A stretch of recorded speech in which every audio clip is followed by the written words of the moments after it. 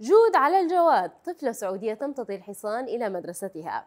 أثارت طفلة سعودية موجة إعجاب على مواقع التواصل الاجتماعي بعد ظهورها وهي تمتطي الحصان إلى مدرستها في منطقة الحناكية بالمدينة المنورة.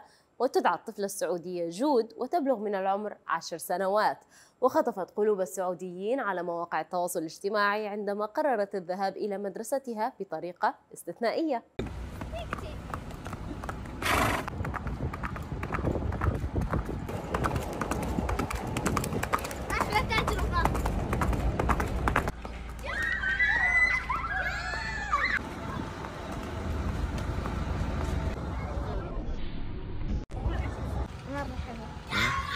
تسمعين الصوت؟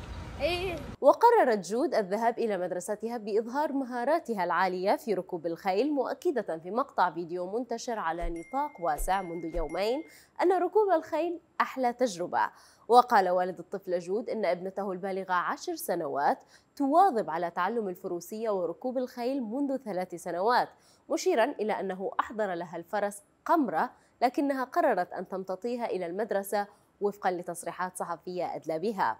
وأوضح والد الطفلة جود أن مدرسة ابنته تبعد عن المنزل نحو 2 كيلومتر وأن ابنته قوبلت بموجة إعجاب من قبل صديقاتها في المدرسة عندما وصلت على ظهر الفرس مؤكدا أنه سيواصل تشجيعها على تعلم الفروسية.